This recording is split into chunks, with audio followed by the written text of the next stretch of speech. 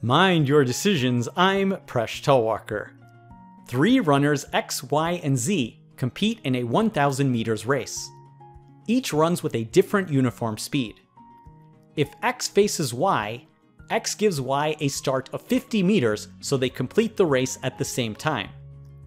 If X faces Z, X gives Z a 69 meter start so they complete the race at the same time. The question is if Y faces Z, how much of a start does Y have to give Z so they complete the race at the same time? This is adapted from India's Civil Services exam. Pause the video if you'd like to give it a try, and when you're ready, keep watching to learn how to solve this problem.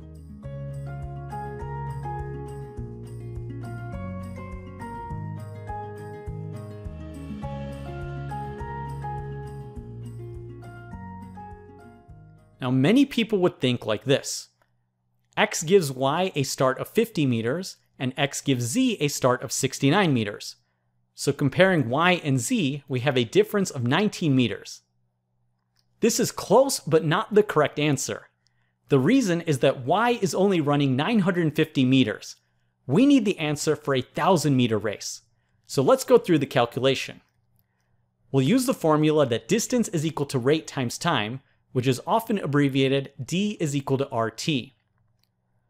Now x is running 1000 meters in the same time that y is running 950 meters. Consequently, we can set up the following equations.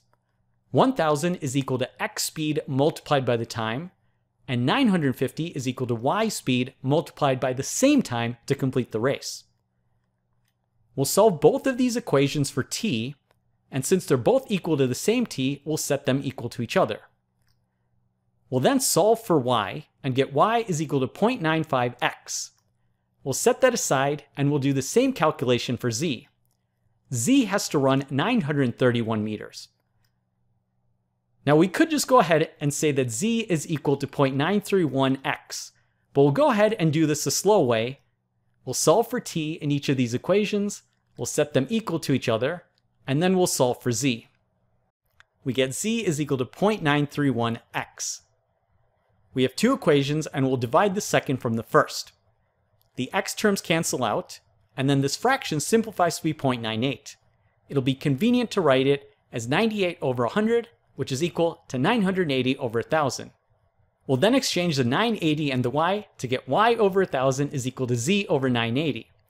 This means y runs 1000 meters in the same time z runs 980 meters. 1000 minus 980 is equal to 20, and thus we get the answer that y has to give a 20 meter start to z. I think this is a great problem because it has a slightly counterintuitive answer.